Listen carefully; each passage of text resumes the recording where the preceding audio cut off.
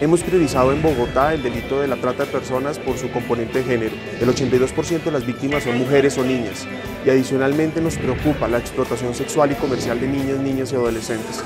La trata de personas es el tercer delito más rentable económicamente después del tráfico de armas y el tráfico de drogas a nivel mundial.